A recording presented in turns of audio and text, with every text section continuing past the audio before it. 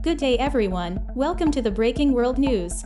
Jennifer Lopez and Ben Affleck are rumored to have purchased a Beverly Hills mega mansion worth $60 million after months of searching for their dream home in the Los Angeles area.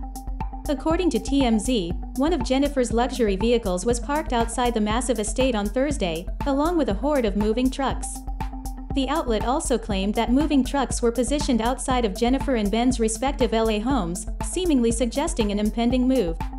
Though it cannot be confirmed whether or not the engaged couple have finally snapped up a home to share, some details about the prospective Beverly Hills property have been unearthed.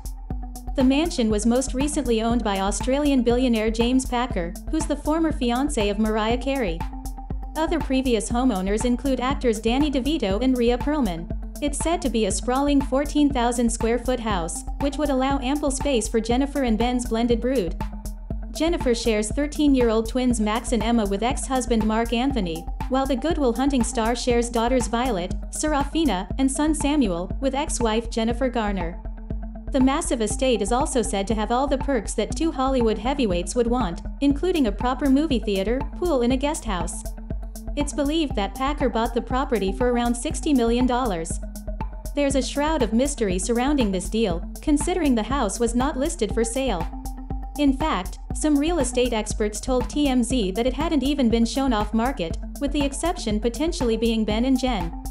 The couple have been spotted shopping for homes around the swanky areas of Los Angeles over the past several months. Some of the homes that piqued their interest were listed above the $85 million mark, so this deal seems to be well within the couple's price range. Ben and Jennifer's relationship has progressed at lightning speed since they shocked fans by reuniting in May 2021 after 17 years apart. Just two months later, they would confirm their rekindled romance as they began blending their families and stepping out publicly as a couple. By April of 2022, they announced their second engagement, 20 years after the first proposal. The so-called Bennifer duo were among the Hollywood it couples in the early 2000s after meeting on the set of the box office bomb, Gigli, in 2002. Ben would go on to propose to the hitmaker but their engagement would come to an end by early 2004. Thanks for watching the Breaking World News. And don't forget to subscribe if you want to be informed.